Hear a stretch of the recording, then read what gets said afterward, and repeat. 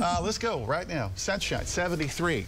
And we have winds that are generally out of the south at about 5 miles per hour. Temperature this afternoon, 94. And here's what it looks like right now through northern and eastern Oklahoma. No major issues. Out the door, 87 at noon, 94 at 3 o'clock. The heat index 100.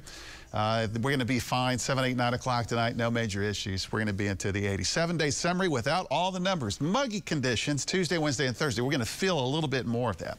Friday and Saturday, it gets hot. Triple digit weather nearby, and then a strong front is going to be knocking on our doorstep for the second half of the week, and that would be Sunday. So when we talk about the ridge of high pressure, this is what it looks like.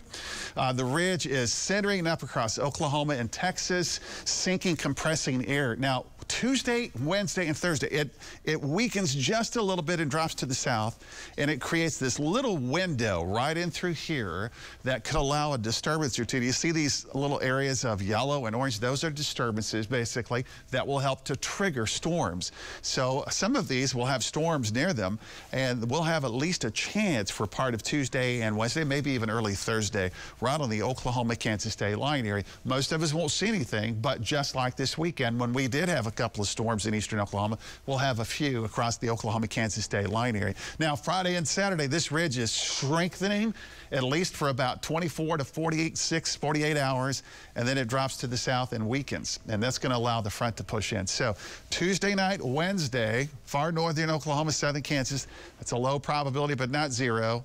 Thursday, the opportunity across the far northern area. 73 right now, dew points at 59, so that's drier air. You're going to feel that this morning. Just a little bit west of Tulsa, 74 at Stillwater, but it's cooler in the eastern sections. And yep, that's a 58 in the Wooster area, so 65 in Muskogee right now. Later this afternoon, Muskogee at 91, 91 Bristow, 93 Stillwater, 92 in the Bartlesville area. Heat index value this afternoon is going to be near 100. Tomorrow morning starts into the 70s and then a high tomorrow of 97. Tomorrow is the official start of summer. The summer solstice at 4:13 in the morning. Wednesday, Thursday, and Friday. Morning lows 70s, daytime highs 90s, 97 on Wednesday and Thursday.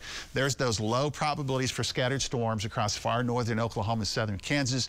Friday and Saturday, this is going to be near triple digits. Friday and Saturday, 99 to 100. That is not the heat index. That's the actual temperature. South winds pick up a little bit during this time period, and the heat index at 1 106 to 107, and that will trigger a heat advisory. And then we have the strong front. At least for this time of the year, we call it a strong front. It will knock the temperature down to near 90 on Sunday, and the drier air behind it sticks around for a couple of days into the early part of next week.